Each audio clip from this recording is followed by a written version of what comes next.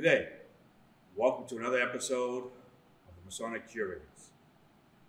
Remember, when you watch one of our videos, if you like what you see, give us a thumbs up. Also, that we are on Facebook.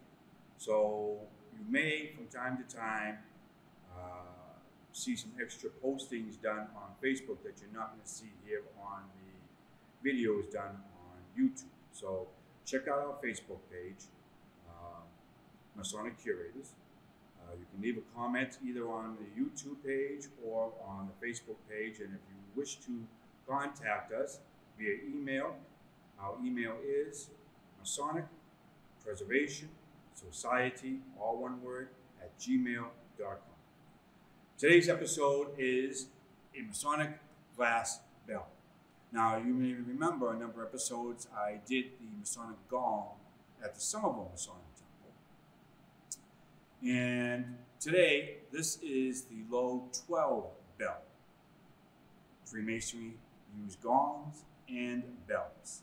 This is, of course, the bell.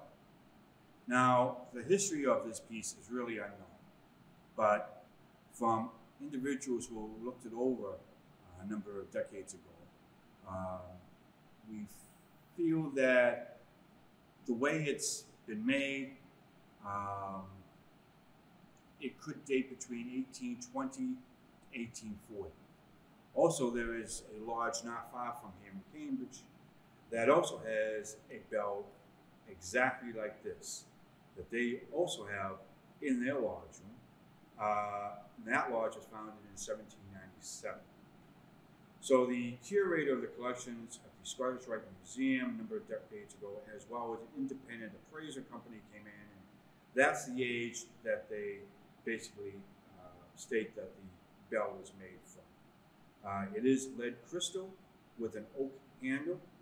Uh, we believe it belonged to Amicable Lodge. We're not exactly sure. Uh, when this was found some 30 years ago in a glass case on the first floor, it was covered with dust and just had a small little uh, index card that said property of Amicable Lodge.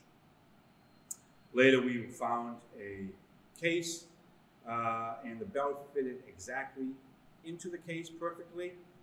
Uh, and that also had a sticker on it that was the property of Amicable Lodge. So we're thinking that this is the property of Amicable Lodge, though there are no records of this uh, in their inventory or in their minutes. But unlike the gong at Somerville, which I know many of you commented that you wish I had rung, uh, that was in kind of bad shape and it wasn't our property to play with. This I can play with. So today I'm going to ring the bell for everybody who is very interested. This may be the only time that you're ever going to hear a 200 year old Masonic glass bell ring. Uh, it is still used, believe it or not, to this day uh, on some of the third degrees. But I will point out one thing. Uh, there are a number of other glass bells that have been made over the years. If by chance you ever do find one and you want to hear it ring, what is the implement that you do not use? And that is a hard head gap. What you want to use is something like this, a cork head gap. And for all those who've been waiting months now to hear the gong, this is the bell.